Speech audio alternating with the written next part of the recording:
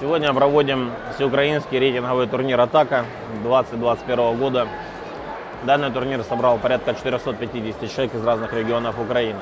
Рейтинг этого турнира будет э, идти в счет э, возрастным группам, кадетам и юниорам на следующий год для формирования сборной команды Украины. Турнир э, вызывает большой интерес у спортсменов, тренеров, родителей. То есть сегодня к нам приехали гости из Киева, Ивано-Франковска, Сум, Полтавы и других регионов Украины. Э, Помимо всего прочего, сегодня мы также проводим турнир среди новичков. Э, Турнир среди новичков помогает маленьким подрастающим спортсменам оценить свой уровень подготовки для будущих более серьезных стартов и соревнований.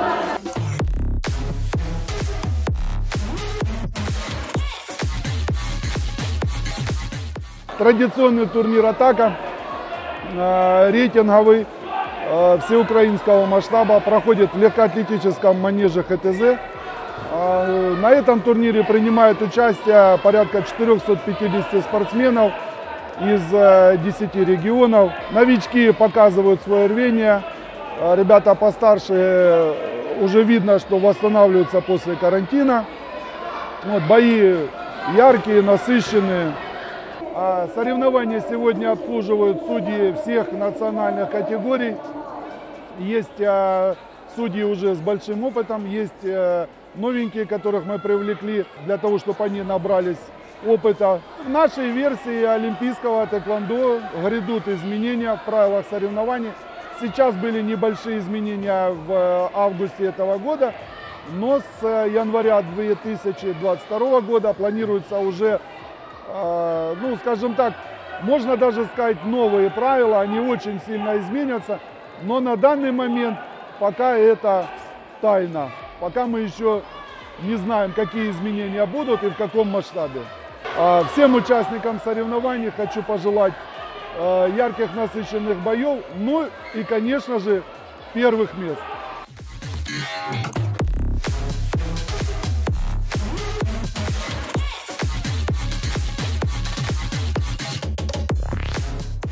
Сегодня впервые в Тэквондо ВТФ был показан новый раздел, который называется Kickstyle. Это командные поединки 3 на 3. Это под эгидой профессиональной лиги Тэквондо Украины проходит он.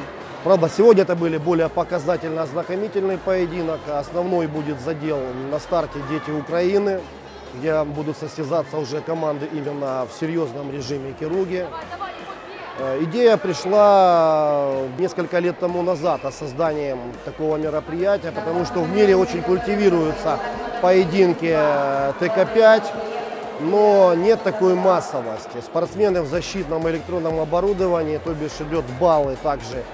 И когда спортсмены э, борются между собой, и на манекене установлен тоже электронный шлем, электронный жилет. Потом эти баллы все суммируются, и мы находим команду победителя.